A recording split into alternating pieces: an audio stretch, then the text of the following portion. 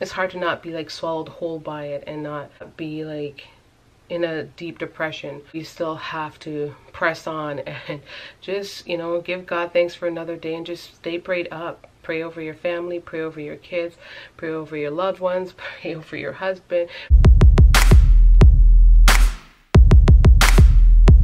Hey guys, hey fam, welcome back to our channel. Today's video is going to be a little bit of a different tone. There's just been so much going on. I just felt the need to talk to you guys and all that's been going on too has kind of just caused me to not be posting as regularly as I should be. I'm also in the middle of studying, so that is like a big number one. I'm not to make this video very long, but I kind of feel the need to touch base on this because I know it's affecting a lot of people. This platform on a whole is just used to um, share and show like positive um, you know, a lot of positive vibe and um, good energy and just like realness and rawness. And this is a very real thing that's happening currently. You guys have all heard about what's gone on in the news with the recent death of George Floyd. I hope I said his name fully correct, but that's been like weighing on my heart.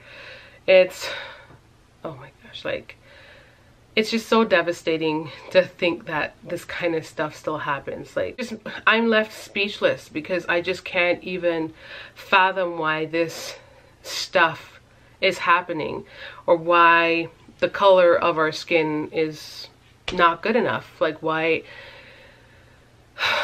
why you know there's just a lot of a whole lot of questions. You know i felt the need to talk about this because even though i live in canada and it's not i'm not in the us where it's like predominantly happening all the time this whole racism and not being black you know black people not being liked all around the world is like a it's a universal thing and it definitely unites us. So when i see like my fellow brothers or you know sisters um being wrongfully treated it just breaks my heart and it's just devastating.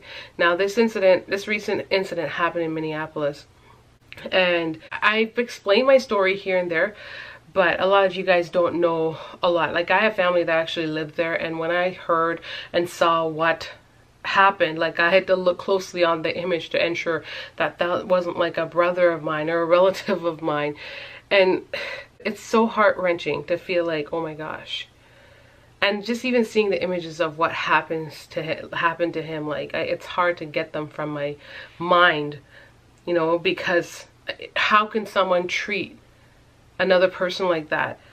I heard this was all over a fake $10 bill. I don't even know the backstory fully of it but it's like I it, you don't it who cares? Arrest him handcuff him do whatever you need to do appropriately, treating him with kindness in the same way you would treat other people, arrest him. Give him the fair chance to plead his case. To whether you, you know what I mean? Like, but to step in the man's throat and literally suffocate him like on the spot. I just don't understand why this stuff keeps happening and how we get to that point. It's it's getting harder and harder to deal with and all one can do is just pray. It just breaks my heart and when i think about everyone and like even like just in the us like you guys who are such you know you guys that are supporting my channel your families your sons your your brothers your uncles your your um husbands like your family and your dads like having to possibly endure stuff like that or having to walk around with fear in their hearts or having to you know just not getting a the a fair treatment not getting equal treatment in life because of just the color of their skin and constantly being um targeted as a criminal. It wasn't like it was just like a, a month ago um ahmed uh, I can't even remember his last name, who was killed by those other men because he was just running through a neighborhood. And oh my gosh, he is black, so he therefore he's a criminal because he's running through a neighborhood where black people aren't supposed to live. Like black black people are supposed to stay in the hood, and you know he's running through an affluent, might I say, Caucasian neighborhood. So he just doesn't belong there. And there's been a series of robberies, and automatically he just fits this script. Like he, he would be the one that fits because he is black. like I am just I'm just besides myself. It's just it's just I can only imagine like if I feel like this and I feel this like wounded about it I can only imagine what it feels like to live so much closer to it and to like how his family you know like people have to remember that this is not even just like this one guy. Like he lost his life on account of it. But now his all those that are super close to him to his family his friends they they have to feel the domino effect not to mention the rest of the black people that are around especially those living in america. It's just and all i can do is just keep praying and praying and praying for just some kind of miracle for this kind of stuff to stop because I could just it's just like why can't we be good enough? Like why? And I could say oh my gosh I'm good enough. I know I'm good enough. And that's just me saying that to myself but the other thing is other people aren't perceiving us as good enough and I don't understand why.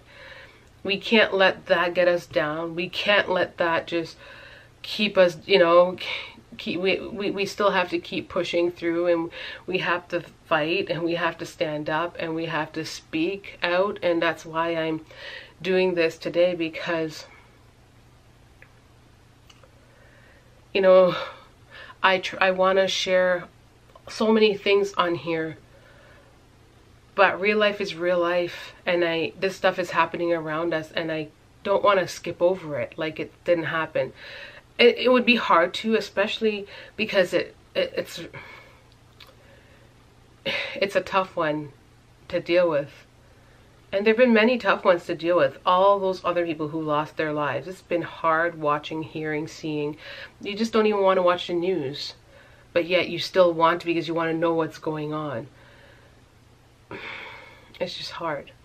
I don't even know where to go with this, but I just want to let you guys know that for, you know, I'm I am thinking about you all, you and your families and your loved ones, and just praying that you will all be safe and just reminding you that don't let this just keep us hostage because it's so easy to it's so easy to live in fear because this stuff is scary. It's scary when your safety is in danger. It's scary when you don't know how to dress to fit the part. It's scary you how you can't you have to make sure you're on your P's and Q's. You can't have anything wrong. You can't ever have a tail light out. You can't ever have your license or your drive your your license plate expire for a day. You can't ever have anything like that. You can't fit this you can't fit into a profile. Like you just can't. You have to be like perfect. Meanwhile on the other side, like I've gone through, you know, I've seen so many videos about different things and then I see a lot of like people in the feeds, Caucasian people saying, oh my gosh, like I've been pardoned so many times by the police. And they're saying it in support to be like, yeah, people are being, you know, we know that African Americans are being targeted because, you know, I've been pardoned by the police. I've been slapped on the wrist. I've done this and I've done that and I get pardoned all the time. So it's just, you know, we know what's happening. We know what's happening and it's just it's hard to not be like swallowed whole by it and not be like in a deep depression. But we still have to pull through and we still have to press on and just you know give god thanks for another day and just stay prayed up pray over your family pray over your kids pray over your loved ones pray over your husband pray over everyone you know and love that is of color because and just yeah because it's like you just don't ever know. So anyways, that's a big part of what's been kind of holding me back. I have, you know, I do have another video um, filmed because I went to my ultrasound and stuff, but I'm not going to talk about it on here. I have some actually exciting videos filmed, but it was just hard to post them because although I filmed them and I was talking, it's so hard that the excitement isn't there. The excitement wasn't there to push them out because I'm like, this deserves a moment. And that's why I wanted to post this. It's trying to think of how I want to deliver this video. I feel like, like there's just no right way to deliver it. There's no organization. It's just me speaking my mind. So I hope you guys understood that and just can hear what I'm saying. I'd love to hear your guys' feedback, your take, what's just what's on your heart, like how you're dealing with this all. I'd love to hear it in the comment section below. And if you thought this video was there was any value to this video, I don't know if there was because I'm just sharing my opinion, but I just want to share I just still want to encourage you guys if you found that there was any value in this, definitely share it if you can because I think it's you know we have to con continue to uplift and support um, one and, and encourage one another. That's all we can do, right? I also want to say stay tuned for another video that I have. So honestly, for the end of the end of this week, it's probably going to be a series of sit down videos because I have another hot hot topic that I wanted to talk about that I I'm just kind of puzzled by it and I really just don't know how to react and it's worth sharing with you guys because I'd love to hear your feedback on it too. It's just it's just weird. So stay tuned for that. It should actually come following this video and then and then uh, I can you know kind of lift the spirits of the channel by sharing some of the exciting stuff that I had prepared and still you know I will still reveal. Uh, thank you so much for watching. If you like, if you're new, definitely hit the subscribe button, y'all. Um, and if you like this video, don't forget to give it a big like and just if you don't have anything to say in the comment section, just even send a little heart down there. Do something to just um, just show your love and your support and your positivity. So and until next time, much love, y'all. Bye.